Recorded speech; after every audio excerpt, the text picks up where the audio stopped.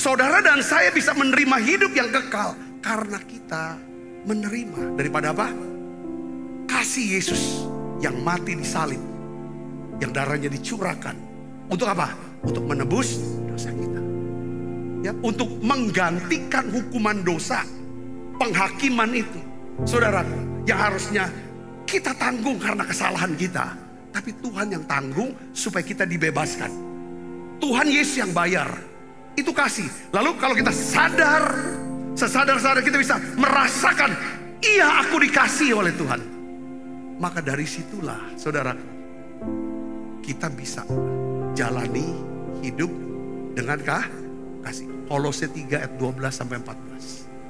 Karena itu, sebagai orang-orang pilihan Allah yang dikuduskan dan dikasihinya, kenakanlah belas kasihan, kemurahan, kerendahan hati, kelemah lembutan, dan kesabaran. Sabarlah kamu seorang terhadap yang lain. Ampunilah seorang akan yang lain apabila yang seorang menaruh dendam terhadap yang lain sama seperti Tuhan telah mengampuni kamu kamu perbuatlah demikian.